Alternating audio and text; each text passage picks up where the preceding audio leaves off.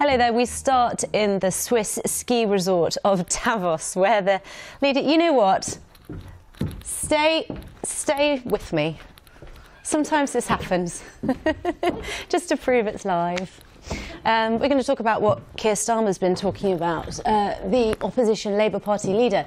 He has been very much sweet talking the elite, the top bankers of the world, the investors at the World Economic Forum. He's been reassuring them that Labour is pro business and.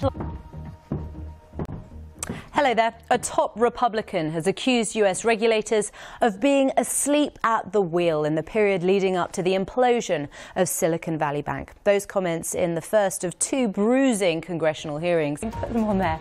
I'll see you very soon. Bye bye. BBC News. Much more to come.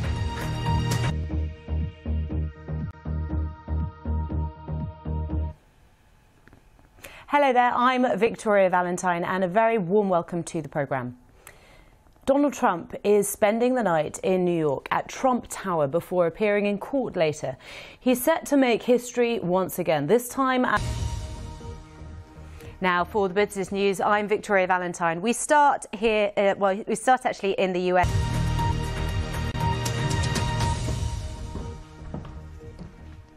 Hi there, it's time for our top business stories. I'm Victoria Valentine, and we begin with the financial results of two US tech giants, Google's parent company Alphabet and Microsoft.